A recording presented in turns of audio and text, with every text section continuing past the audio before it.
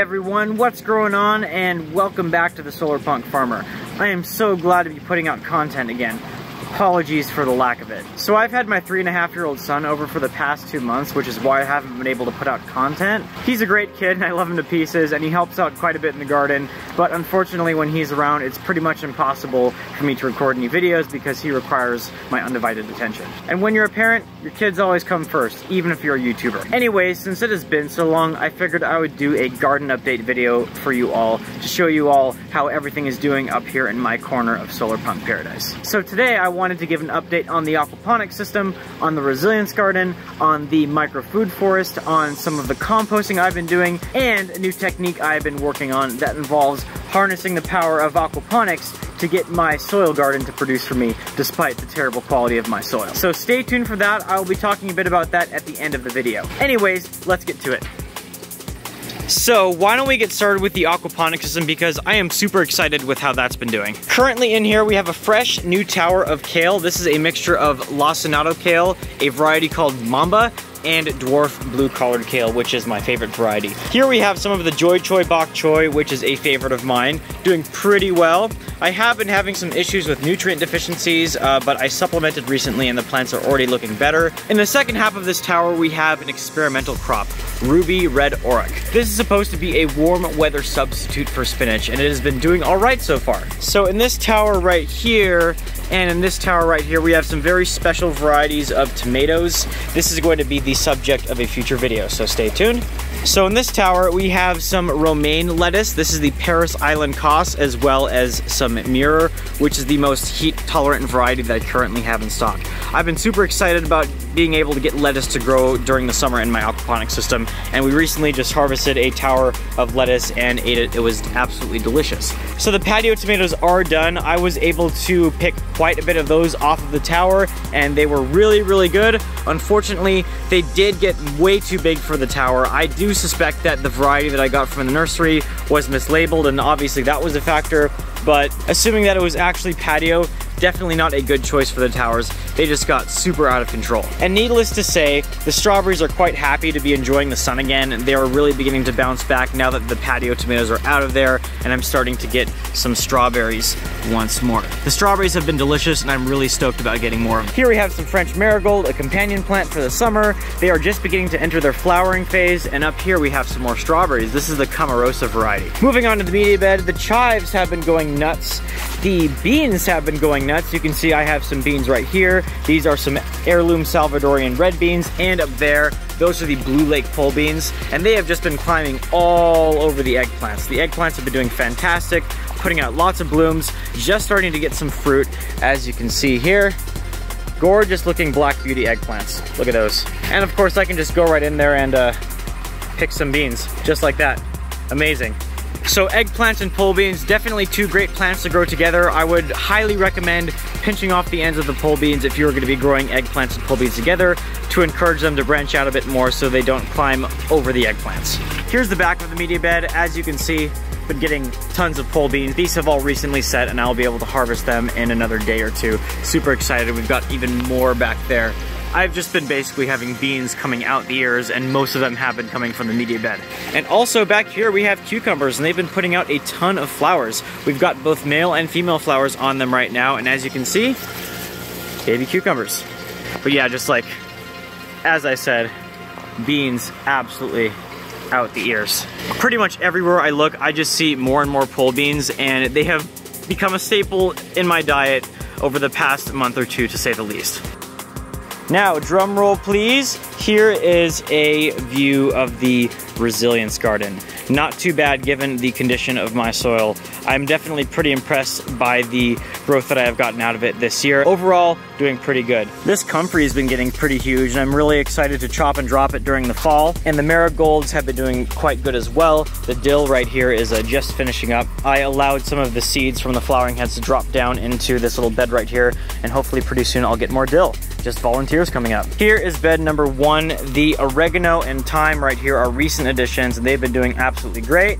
The sweet potatoes were growing pretty good for a while, but unfortunately it looks like I had a squirrel come in and just completely defoliate the sweet potatoes pretty much over the course of a couple days. I am definitely not happy about this, uh, but I am looking into what can be done about it to keep that squirrel from coming back. Obviously here in the Resilience Garden, we do not believe in using any kind of pesticides or poisons, so I will be employing a deterrent of some sort. So this right here is where the potatoes were. I ended up getting a pretty decent harvest out of the potatoes. So basically I laid down some compost, green matter, and wood chips on top of this area of the bed after I chopped and dropped the potatoes, and it's been building some pretty fantastic soil underneath as you can see. Definitely looks quite great and the plants have been loving it. I'm gonna be doing even more lasagna gardening in the fall.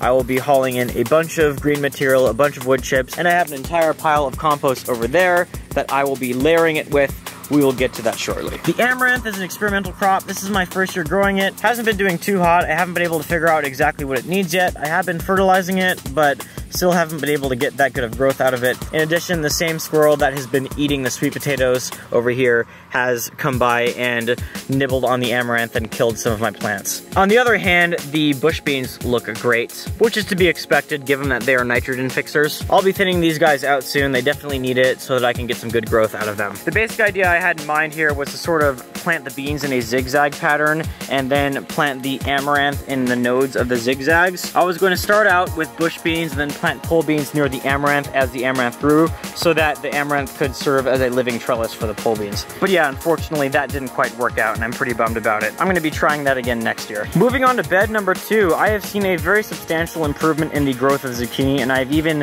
harvested quite a few zucchini off of them. This plant has been the strongest one and I think that has to do with the amount of sun exposure it has been getting. The other ones have been doing all right as well, although lately they have been suffering quite a bit from the summer heat that we've been getting. They definitely have not been enjoying it and I think they might be drying out a little. I tried to put some amaranth in this bed as well, that's why there are empty spaces in it, but unfortunately that also did not take and got eaten. However, the moringa that I have planted next to the Ollas has been doing great overall. This is the PKM1 variety, and I've grown it from seed. Here's another view of the moringa, been growing beautifully. These trees are about two months old and they have been absolutely loving it next to the Ollas. So there are a few things I've learned about growing moringa that I would like to share with you guys. What I have found so far with moringa is that they definitely need to be babied quite a bit when it comes to moisture levels when they are young. They really need consistently moist soil in order to take off and that's why I think that the moringa over here by the Ollas has been doing so well. Indeed, the moringa next to the Oyas has also been doing overall better than the moringa that is not located next to the ollas. And these ollas have been drying out a bit more rapidly, which I believe explains the reduced growth as opposed to the moringa back there. So it's been really interesting to observe that. The same goes for the moringa in bed number three over here. I have come to the conclusion that planting them on a raised ridge is not the best approach because the soil dries out too quickly. And this makes it harder for the young tender moringa trees to get the amount of moisture that they need. I have also been able to directly observe truly just how much of a heat-loving tree moringa is. In my experience thus far, the hotter it is, the faster moringa grows. I have gotten the best growth out of moringa when we have had triple digit temperatures. Another thing that I want you guys to be aware of based on my various experimentations with moringa is that they really are soil plants. You do not want to grow them in containers unless you have a very large container. Moringa really just doesn't do well in containers, especially when you consider that it has a very extensive taproot system and it needs to be able to have space to spread out its taproot when it's growing. It's also very difficult to control for soil moisture when you're growing moringa in containers and this is exactly the problem that I've had with these trees right here, especially if you have smaller uh, planters such as these. And the plants don't have much room to spread their roots out, so unless you have a rather large container, they'll end up pretty stunted. Anyways, watch out for more moringa related content in the future. Once I'm able to get these guys through a full seasonal cycle, I will do a what I've learned about growing moringa video. Because when it comes to this plant and growing techniques, there seems to be a lot of conflicting information out there. So I figured it would be good for me to give all you guys a little bit of information at some point, just based on my experience growing it. But everything else in bed number three has been doing great. This is a new round of bush beans right here, and down here you can see the remains of the last round of bean plants, which I ended up chopping and dropping to build the soil. The tomatoes have really been starting to take off, which has been super exciting, and I've begun harvesting some of the cherry tomatoes already. And check out the Godzilla tomatoes from seeds that I saved. My friend gave me some Godzilla tomato fruit next year to try, and I ended up saving some of the seeds, and uh, they're pretty funky looking, huh? And the others have been doing great too. And as you can see, the basil has also been doing fantastic. Right here we have the uh, Genovese basil. Anyways, let's move on to the mini food forest. All right, here's a pretty good shot of the mini food forest. So I'll just give you a quick walkthrough of this. Right here we have the blue Java banana, and this one has been doing absolutely fantastic. The foliage is just gorgeous and it has been growing incredibly rapidly. So this trunk right here was not actually the main trunk of the plant. I ended up cutting that down because it wasn't doing very well. This was the pup that was about a foot tall when I planted it back in March, and look at it now. Bananas are such rapid growers and it's really incredible to see them grow over the course of just a couple months. I mean, look at the size of this pseudostem in only like what, four months? It's ridiculous. And after I chopped down that other stem, you can see the stump right there, it just immediately put out a ton of pups. I'm gonna be cutting a lot of these off and giving them away because uh, we don't want all of these uh, water pups on here. They will sap energy from the main plant, and we definitely don't want that. Oh, and also got some pole beans to begin climbing up the bananas. And they have been doing quite well. They're just uh, having a grand old time. Anyways, got some more comfrey in right here, some strawberries right here, and back there.